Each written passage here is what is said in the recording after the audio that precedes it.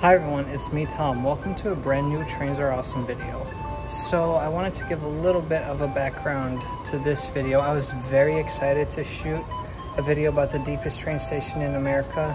While I was working on editing the clips for this Portland series, a bunch of my videos uh, unfortunately got lost. Thankfully I had a warranty on the device I had and so I was able to recover about 90% of the data um, but especially with this Washington Park video, a lot of the videos ended up going completely missing or getting severely corrupted. So if you notice any glitches in the videos, it's because of that. So we're gonna take a tour of the deepest train station in North America uh, with some video footage that I took, as well as some footage provided to us by Google. Hi everyone, and welcome to Portland, Oregon. In today's video, we're riding Max Light Rail. If you want to find out more about this system, check out last Saturday's video.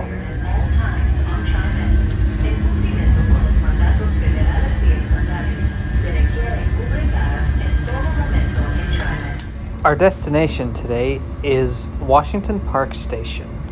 Located just west of downtown Portland, Washington Park lies in the three mile long Robertson Tunnel the longest tunnel on the Max Light Rail network. The station is served by the Blue Line and the Red Line and was opened in 1998 as part of the Max Light Rail extension westwards to Beaverton and Hillsboro.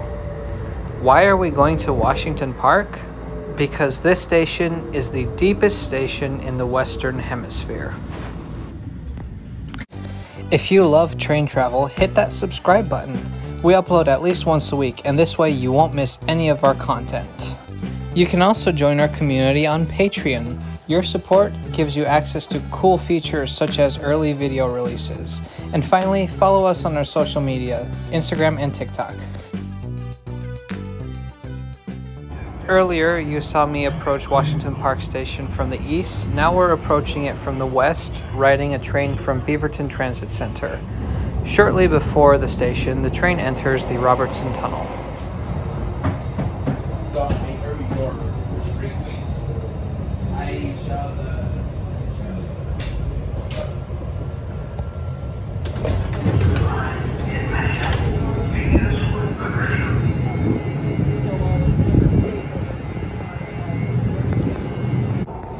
So this is Washington Park Station. It's on the TriMet Max Light Rail blue and red lines. It's in the middle of the Robertson Tunnel, which is three miles long. It is very cold down here. Oh look, there it says the Robertson Tunnel. And this is the deepest station in the United States. We are at 260 feet below ground level. That's 79 meters.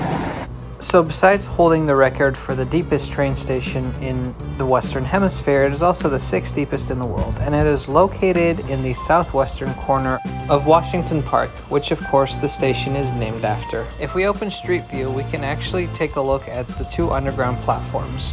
Washington Park has a very wide island platform that is mostly walled off from each other except at the ends where you can cross from one side to the other and at the ends is also where you will find the elevators. The Hillsboro bound platforms have a red and gray motif whereas the downtown bound platforms have more of a yellow motif. Passenger information is displayed with these little LED signs, and my favorite thing of the station was all the educational material that was provided on the platforms. There were facts about history, about nature, there were even rock samples that were collected when the station and the tunnel were being dug. And all in all, while the rocks may have been bored here, I most certainly wasn't. There was so much to learn.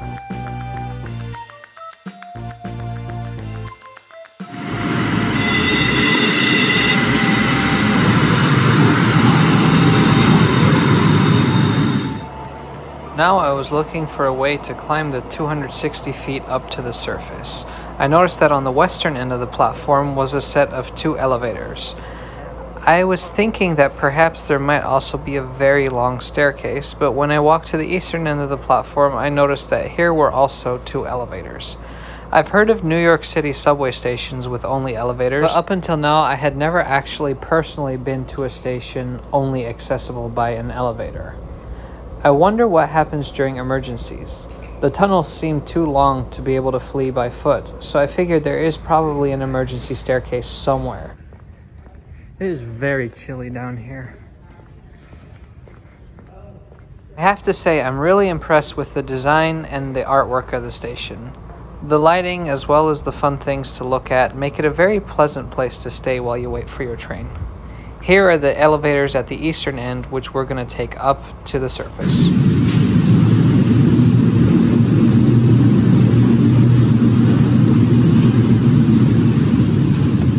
Cool.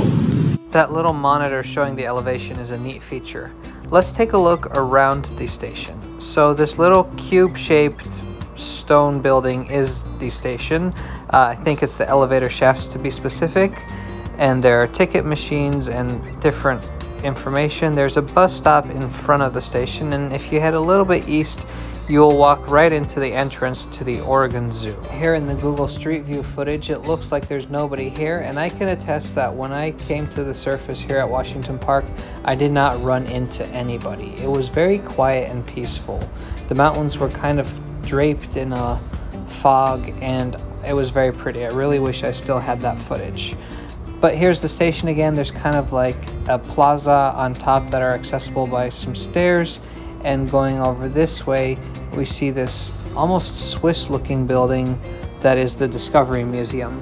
Washington Park has many different nature themed attractions. Of course, to me, the main attraction was visiting a train station that holds a record, but I decided I needed to see a little bit more of this park. And so I decided to follow the road toward the Vietnam Veterans Memorial. It was just a quick five minute walk up the road. I'll show you how I went.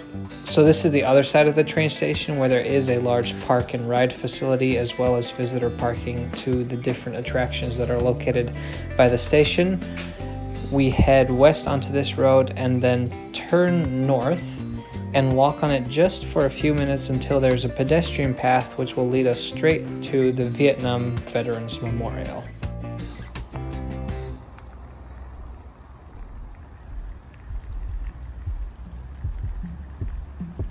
If we take a look at the satellite imagery of the memorial, we'll notice that it's in a spiral shape. And so you can walk from the bottom and kind of loop your way up towards the top. Now, Washington Park is part of a 40 mile system of hiking trails, and honestly, the tiny little bit of the park that I've seen, I would definitely recommend a trip here if you have some time in Portland. Let's go back down and ride the Max into Portland.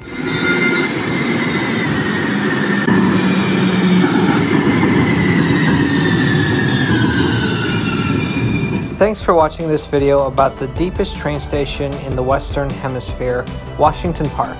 On Saturday, we'll be back with a video from Portland's only commuter rail line, WES Commuter Rail. Don't miss it, make sure to subscribe to Trains Are Awesome, and we'll see you next time.